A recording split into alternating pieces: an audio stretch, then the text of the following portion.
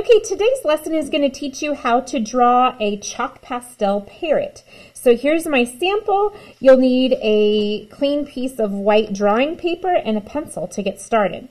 So I want my parrot to take up the majority of my paper. So the first thing I'm going to do at the top of my page is I'm going to start out by making a curve for the head and that curve is going to fall off the back side of the page where the neck goes. Okay. Once you've drawn that part, the next part is going to be the beak. So for the beak, I'm just going to start out by making kind of a shallow rainbow shape. And then it's going to curve down almost like a, a shark tooth. It'll curve down like this, and then it's going to come back up. Okay. Um, the next step for my parrot is going to be to have, it has another little section that comes off of that beak kind of curves around and connects back to the shark tooth looking part. All right, and then once again, I'm going to start at the corner of where that beak begins. It's going to come back. This is going to be the part that comes under the eye. Kind of a crazy curved shape. And then we're going to do the parrot's um, belly and neck area. So from here, I'm just going to kind of come down where the beak is, and that belly is going to curve out and down at the bottom. I'll just kind of lift that up so you can see how it fell off the bottom of my page. Okay. Then over here in this area, we're going to draw a wing. And for that wing, I'm just going to do a curved spot there. Okay. So I'm ready to give my parrot an eye. So what I'm going to do is draw kind of a curved area. And then the eye will go inside of there. So the eye is going to be football shaped. Okay, and then I'll put a circle on the inside of that, football shape, with another circle for the pupil. Okay. Now, once you get your parrot completely drawn, I want you to go back and lightly erase those pencil lines so they don't show. Once all of your lines are lightly erased, you're going to need a set of chalk pastels. So I'm going to start with my chalk pastels. You're also probably going to need some paper towels um, for blending purposes. So you might make sure you have a few of those close by as well, okay? So I'm going to actually start with a dark green color for my pastel set, and I'm going to start um, right above the beak in the head area, and I'm going to bring that darker green up from the beak, okay? I want it to have a little bit of shadow in there, so I'm actually going to take a little bit of my black and I'm just going to color some black right on top of that green. It doesn't have to be everywhere, but I just want to make sure I have a little bit of that in there for shadow. Okay. My next color is going to be a bright green or a lime green color, and I'm just going to color once again right over the top of the green that I've already used. Um, these colors are going to be blending together. That's one of the things that I love about chalks is how well they do blend. So I'm just kind of bringing that green up and around the head area. Okay. Um, from that green, it's going to kind of turn into a, a, blue color. So I'm just taking from my palette here, I've got several different blue greens or aqua colors that I'm going to be using. So I'm going to start out with the greener of them and just kind of mix a little bit of that in. And then it's going to start getting more blue as I go. So my next one is going to be just a little bit more teal colored. And once again, it's okay to color those right on top of the colors that you've already used.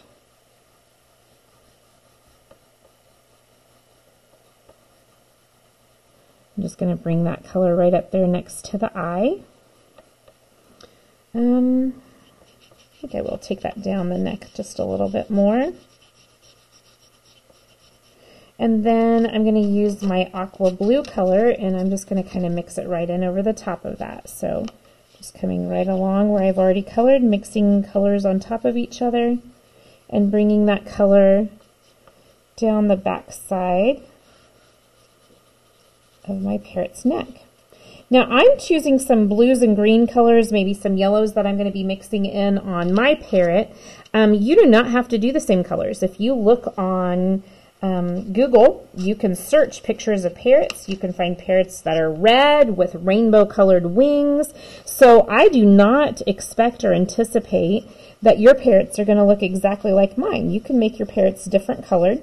So once again, they do not have to be the same as mine. I'm going to do a little bit of yellow in here, blending in with that green, and just bringing that color down underneath the eye space. Once again, I left my pencil lines so that you guys could kind of see where I was working at.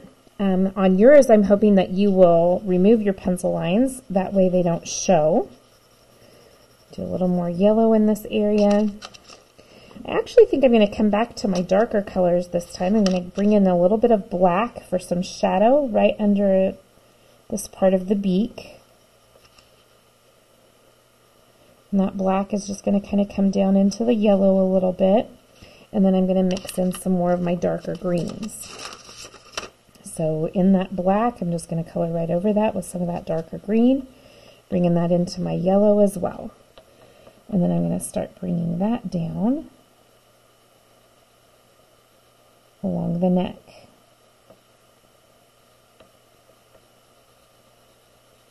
So it kind of looks messy at this point, but once we start blending, you'll start noticing how those colors are all going to start coming together.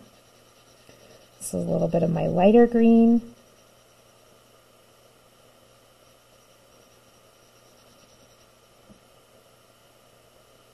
Just coloring around that beak. I'm going to come back to that later. I'll do that with some darker colors at the end.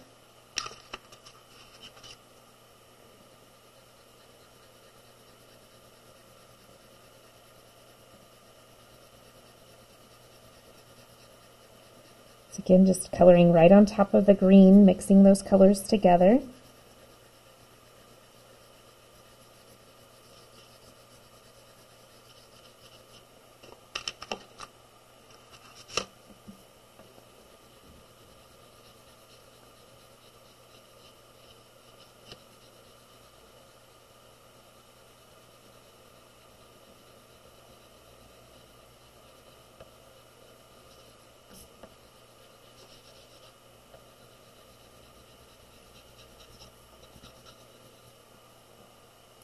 And I'm going to start bringing in some more yellows on the tummy as well.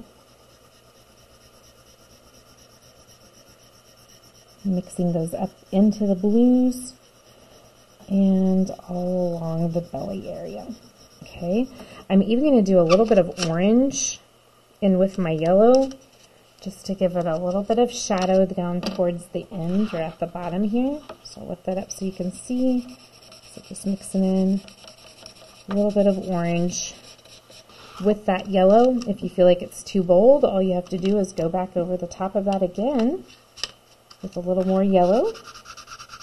That will help mix it together. Okay, so now comes the fun part. I get to start doing some of the blending, okay? So you'll notice that the colors on my parrot from before are very smooth and even, okay? To get that look, what I did is I took a paper towel, okay? I actually used mine, I know we get really dirty with this activity, but I use this one, I wrap it right around my finger, and I'm going to use that paper towel to start blending those colors together. So I'm starting down here with my orange, mixing it into my yellow, just rubbing those colors together, and then coming up into the blue-green area as well. You're going to notice you get a lot of dust on your paper, so as that dust starts collecting, all you have to do is take it to the trash can, dump that extra dust off, and then you can kind of see how those colors are now starting to blend. So I'm going to work those colors up towards the head as well.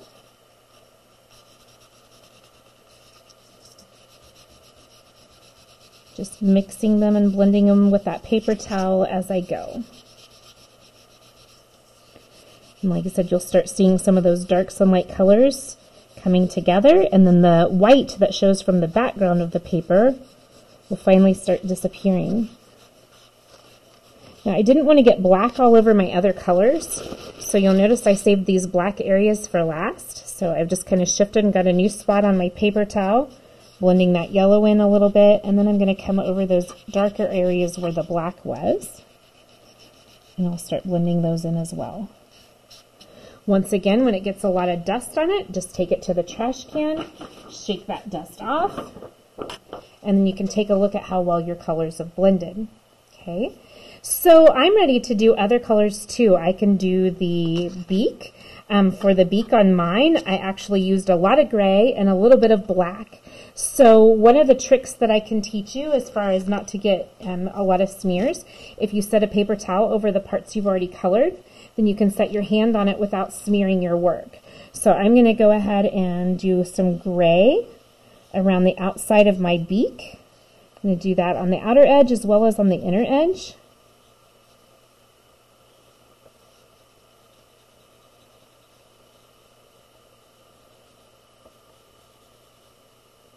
I'm going to leave just a little bit of white in the center. My intention there is to have some highlight when I go to blend those colors in.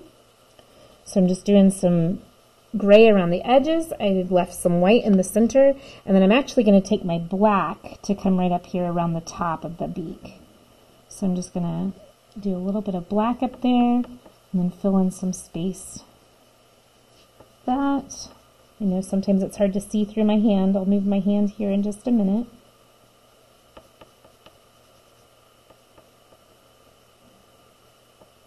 Like I said, it kind of looks messy until you start doing some blending. I'm going to do just a little bit of black down this front side and a little bit on the underside. Okay, not too much. Okay, then I'm ready to take a paper towel again. I'm going to wrap that around my finger for blending purposes.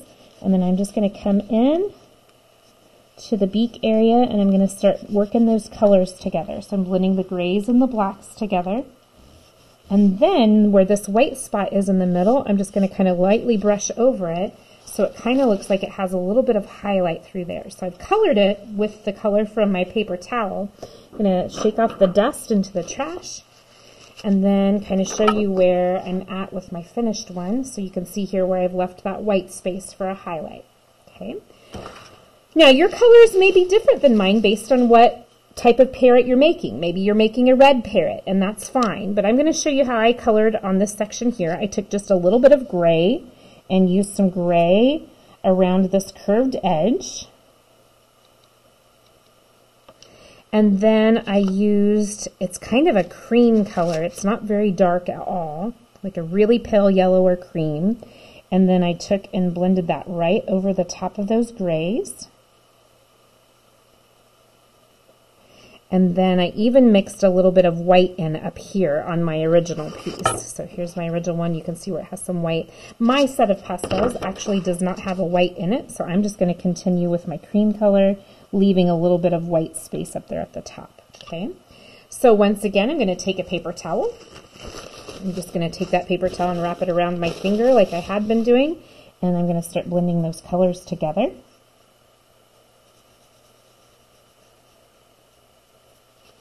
And then once I have them all blended the way I like, I can dump that onto the, or into the trash can, the dusty part. Okay. And then I'm ready to do this section here. On my parrot, I made that section with oranges and yellows. Okay, so I'm going to go ahead and pull out my yellow first. And I'm just coloring yellow here in the center. And then I'm going to go around the edges with some oranges. And I have a couple of different colors of oranges. I think I'm just going to use them both. Okay, so I'm going to take that darker orange down here towards the bottom part of it and just start working that up. Maybe even a little bit of that darker right here in the corner. Okay, then I'll switch to my lighter orange, just kind of coloring right over the top of where that yellow was.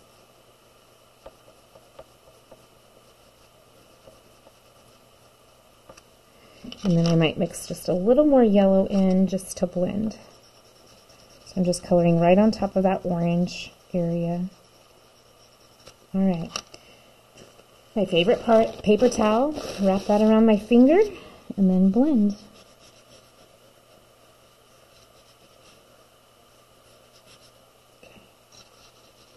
Sometimes you can tell when you dump the dust off in the trash, you can tell easier if there's other places that need to be blended or if you missed any places, okay?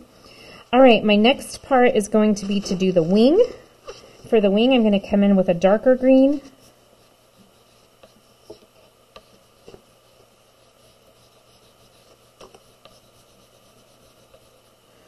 Following with a little bit of lighter green and moving into that teal blue color.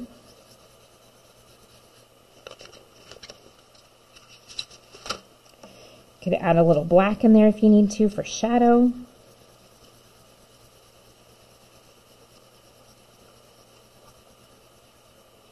Slide that up so you guys can see.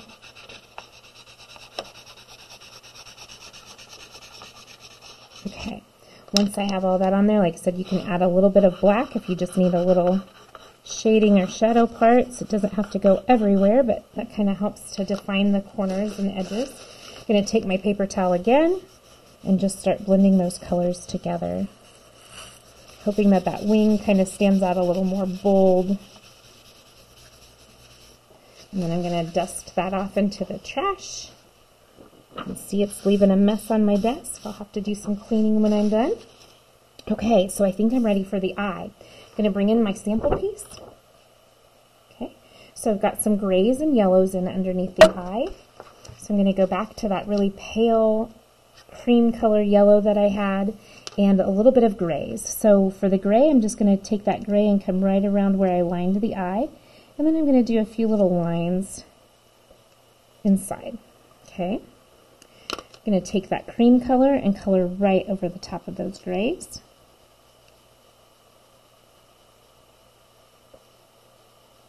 And then blend with my paper towel.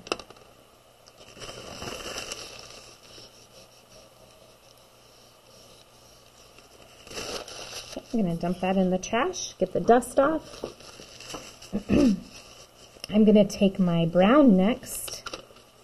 I have a mess on my palette here. Okay, oh, oops, wrong color. I'm going to take my brown. And I'm just going to define the eye space. Filling in that circle.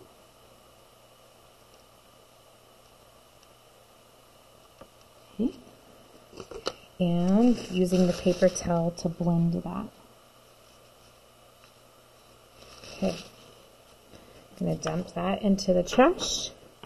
This is where the detail work starts coming in. I'm going to take my black, um, do a pupil on the inside of the eye. I'm not going to blend that pupil, I'm just going to leave it how it is. I'm just kind of outlining around the outside of the eye and the eyeball shape. Okay, and then I'm going to come right over the top of it. That line might need to be a little bit thicker, so it's okay to do that line a couple times just to make it stand out. Um, anywhere that you need to go back and add sharpness, so like if I need to come around that beak a little bit, or if I need to do a little bit here around the edges, I can fill that in with black as well. Okay, and then I have my parrot completely covered. The last step is choice for you. So I'll pull in my sample one. You just get to choose what color you want the background to be. You're going to color that background on there, take your paper towel and blend it, and then your piece is complete. When everything is all done, you'll get to sign it in the lower right corner.